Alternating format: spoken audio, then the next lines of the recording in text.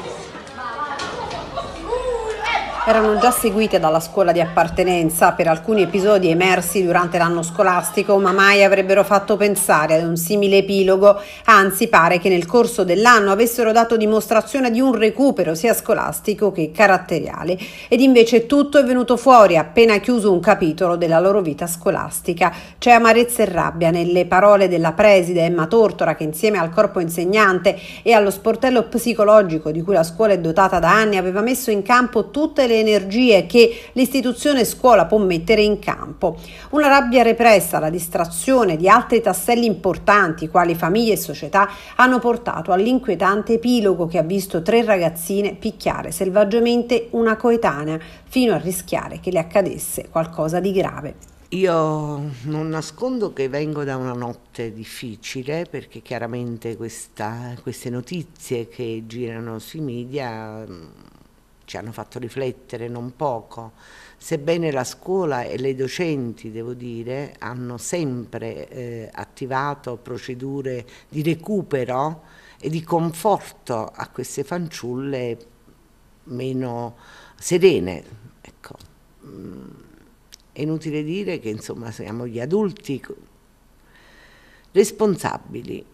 La scuola li attiva tutti mi sono posta un problema, dovremmo farne proprio un college, cioè tenercele anche a scuola. Quanto la scuola può coinvolgere le famiglie stesse, oltre che gli alunni, e cercare di ehm, affievolire anche delle lacune che si vivono in casa?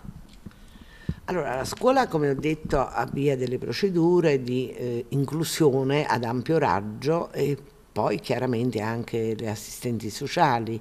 Abbiamo, insomma, è molto attiva questo sportello al comune di San Marzano.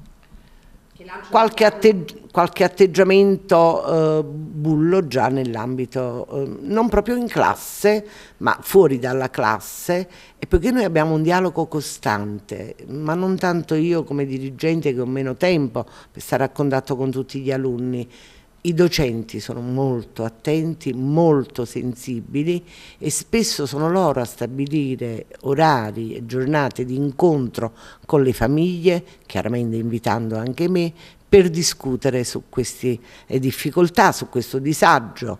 E ripeto, noi agli atti della scuola abbiamo tutta la documentazione di interventi fatti con dati oggettivi. Il bullismo è un campanello d'allarme. Voi come scuola in genere come vi regolate in queste situazioni? Avviate delle segnalazioni? Cosa fate? Sì, sì, le, eh, segnalazioni vengono fatte subito, eh, come dicevo, al piano di zona che eh, collabora attivamente con noi, abbiamo un costante contatto con le assistenti sociali ma eh, poi ci sfuggono, ecco, sono ragazzine che magari eh, sono riuscite anche a dare il meglio durante gli esami e poi viene fuori che scopri che insomma è bastato poco che si allontanano dalla scuola per ricominciare questi atteggiamenti eh, violenti. È difficile perché veramente le, le abbiamo provate tutte ripeto, probabilmente dobbiamo cominciare a sognare di avere degli ambienti dove tenerci fino una, alla maggiore età questi ragazzi. Questi ragazzini, queste ragazzine vivono in ambiente classi che sono eh, anche mh, frequentati dal maggior numero di eccellenze.